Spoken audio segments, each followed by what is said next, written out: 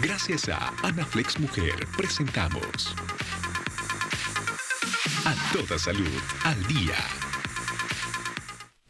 Comienza nuestro sector de salud y es que la vida es más linda junto a nuestra amiga Anaflex. Y para eliminar esas molestias propias de nosotras las mujeres llegó Anaflex Mujer juntas contra el dolor. Alivia efectivamente la inflamación y el dolor menstrual. Corrige la retención de líquidos, siempre a mano por su tamaño práctico y cómodo.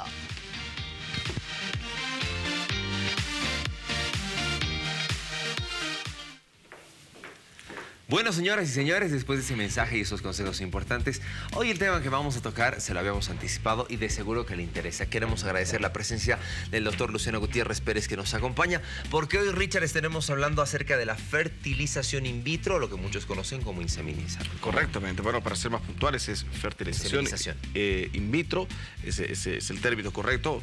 Inseminización, como mucha gente, eh, eh, inseminación, como mucha gente lo conoce.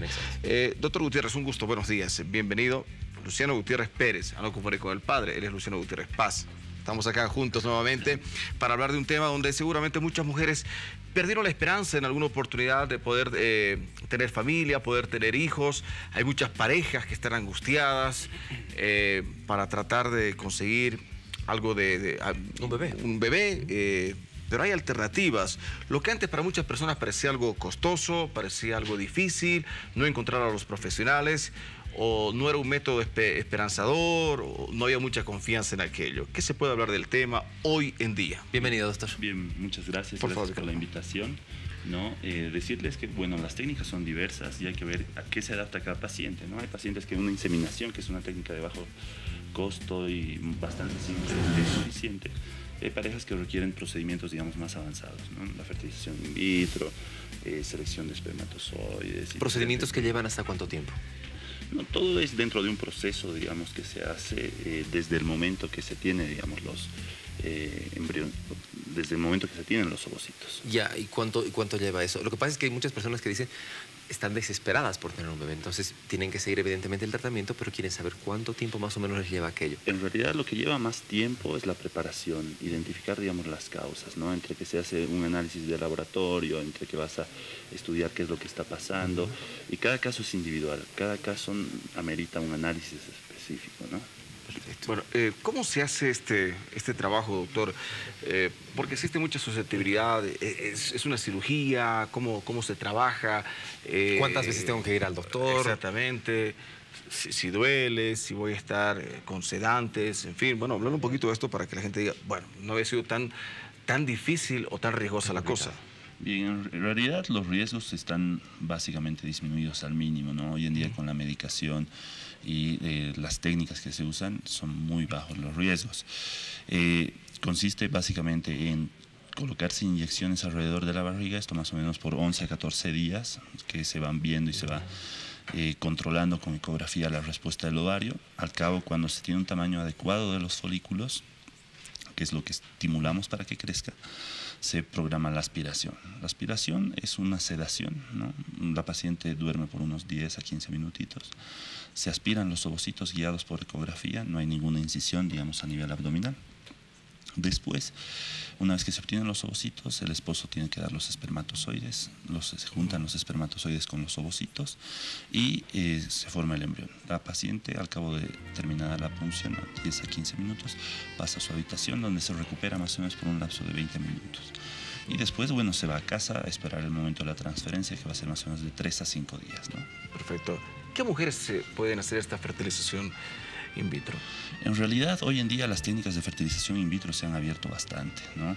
De hecho, hace un par de años eh, incluso salió que una mujer alemana de 64 años logró concebir. logró concebir trillizos. ¿no? O sea, ella se fue hasta la India, porque en Alemania tiene todo regulado, se hizo el tratamiento en la India, volvió y que estaba embarazada.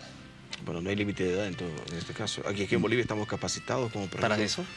Bueno, hay que saber hablar también con la paciente, la psicóloga tiene que interactuar también y ver qué es lo que desea ¿no? la paciente, porque eh, está bien, quiere un hijo, pero hay que saber en qué condiciones podría venir un hijo. Doctor, hay muchos casos que se han presentado en los que de pronto a la primera oportunidad no han logrado que se consiga esta fertilización. Y que recién hasta una tercera o quizás una cuarta es donde se ha podido lograr eh, esta fusión. ¿Por qué? Evidentemente, ¿no? En realidad ese es el problema y eh, que pasa en todo el mundo. La infertilidad existe tanto acá en Bolivia como en Estados Unidos, Alemania, Italia, cualquier país del mundo. Y es que aún no hay una respuesta por qué eh, se no se logra embarazar. Hay mujeres que a la primera se embarazan y hay mujeres que van de un centro, van al otro, van al otro y creen que les han engañado, digamos. Claro. Pero en realidad es que simplemente la naturaleza muchas veces te juega un papel muy importante. ¿no? Hay un diálogo entre el embrión y el endometrio que no se sabe, se desconoce y es la causa por la cual en todo el mundo existe este problema. Por su experiencia, ¿son las parejas las que van a consultar sobre esta fertilización in vitro? ¿Son mujeres solas eh, que, van y quieren hacerse ese tratamiento? ¿De qué encontramos más hoy en día? Por lo general es la pareja, ¿no? Tanto el hombre como la mujer, matrimonios generalmente son pacientes arriba de 37 años que van a consultar y que desean el embarazo y que tienen eventualmente alguna dificultad. Generalmente es ese rango de, pacientes, pero también hay otro grupo de pacientes menor, por ejemplo, hombres que tienen asospermia, o sea, ausencia total de espermatozoides en el eyaculado que tienen también tratamiento, que la, donación no es la única alternativa de espermatozoides. ¿Es caro? La fertilización in vitro sí es relativamente cara, pero es por los insumos, ¿no? que son bastante caros. ¿no? Es lo que incrementa demasiado los costos. Claro, porque tienes, me imagino que, no sé si está correcto, esto se tiene que tratar de ayudar y en algunos casos alterar para que pueda funcionar mejor? Alterar no, sino ver variables ¿no? que puedan resultar mejor para la paciente. O sea, no es lo mismo estimular a una paciente joven que a una paciente, digamos, adulta. Varían las técnicas que tú puedes... Eh, Entonces, es estimulación. La estimulación es la palabra correcta. Bueno, eh, hay, bastantes mujeres, bastantes parejas, hay familias que, seguramente quieren hacer algunas, algunas consultas sobre este tema de fertilización in vitro. Eh, ¿Dónde lo pueden encontrar? Estamos en... Bien, el consultorio es en la 6 de agosto, esquina Campos, en el edificio Turri, piso 2A. Ahí estamos. Centro Vida, ¿no? Así es. ¿Algún, algún teléfono? El 772-11626 y el 243-2671. Bueno, para cualquier consulta y por supuesto para conocer más a detalle, nosotros simplemente a grandes rasgos, un vistazo, eh, vistazo simplemente de una fertilización in vitro, pero usted puede hacer consultas para poder realmente hacerse algunos chequeos y, de esa manera eh, poder viabilizar con la ayuda de los profesionales. Eh, eh, la posibilidad de hacerse una fertilización in vitro y de esa manera poder hacer realidad un sueño que tienen muchas mujeres en particular de poder tener un bebé, ¿no? Claro, ¿no? para eso estamos. Ah, perdón, doctor, una consulta que me hacen algunos.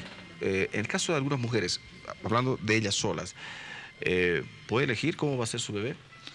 Yo quiero un, hijo alto, en realidad, ojos verdes. programar, digamos, todavía no, o sea, no se dispone de eso, ¿no? Sí, la donación del espermatozoide, digamos, se puede seleccionar ciertas características del donante, pero decir yo quiero que sea morocho, de ojos verdes, que mida 1,90, no, no se puede. Eso todavía se está. Pero sí se puede garantizar de que nazca un bebé sano. E, eso sí, pero para eso necesitas hacer un estudio genético. Exacto. Y el estudio genético te dice el sexo del bebé y obviamente si tiene ah, alguna alteración. ¿Se puede elegir el sexo? Elegir el sexo, saber el sexo del embrión, que es distinto. O sea, yo no puedo agarrar y ah, decir, este embrión quiero que sea mujer, este embrión quiero que sea varón. Se puede, saber qué sexo tiene ese embrión, pero no se puede elegir. Ok, doctor. muy bien. Oh, interesante, ¿ah?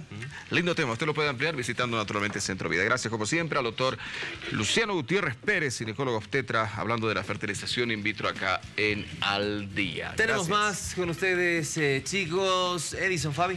¿Qué están de cumpleaños? ¿Qué? Así es, estamos de cumpleaños, cumple. Gracias a Anaflex Mujer hemos presentado A Toda Salud, al día.